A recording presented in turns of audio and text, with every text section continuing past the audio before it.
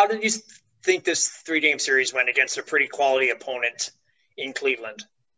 Uh, obviously better than last time. I think uh, we played a really solid game all three games, and I think we could have even deserved another extra point tonight. I think we outplayed them for the most part. Um, I mean, just sticking to our game plan and doing what coach has been preaching has been working for us, and it showed. I mean, we got five or six points. So, um, you know, you've obviously put up some pretty solid numbers this year. How would you, uh, all things considered, with everything, the circumstance of the season, how would you classify your season?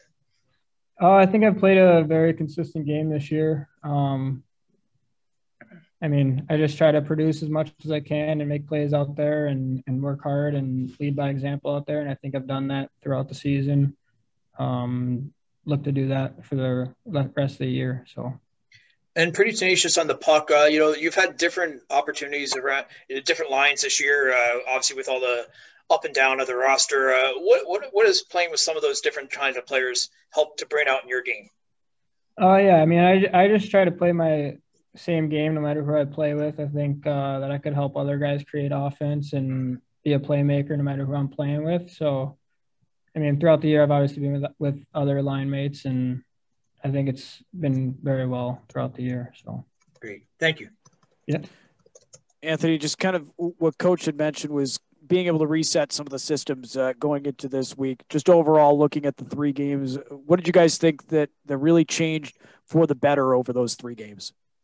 Uh, yeah, obviously we had that long stretch there. I don't, I don't know how many games. I think 17 in like 23 days. So it was nice to get two weeks of practice in and work on the systems. I think it was, it was much needed, and we got to reset and come back and get back to our our game style and playing fast. That fast twitch that coach has been talking about uh, the last few days, and I mean it, it showed like we relied on each other and not just guessing out there. So I think it was is very well very well done. So this combination for you as well with with Ty and Cole? Uh, is it just kind of things seem to be flowing extremely well for you guys, uh, not only between you and Cole, but adding in Ty in the mix? Just uh, what's what's been the difference inside of uh, that line over the last three games?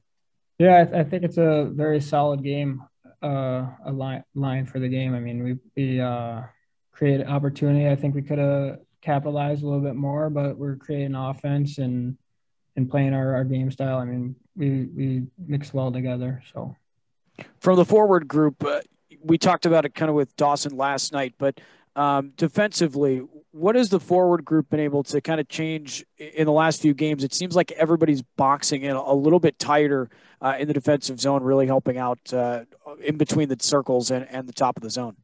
Yeah, just being uh, closer options, being a coach calls it a, a, dice there. And I think just those five foot passes make a big difference. And the communication that's been out there is, has been great. So I think that helps a lot.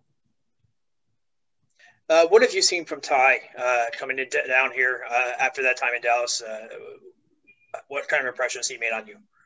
Uh, he's obviously a heck of a player, and he can fly out there. He makes plays. I, I mean, he makes things out of nothing sometimes, and he's always there for support. So he's pretty easy to play with, obviously.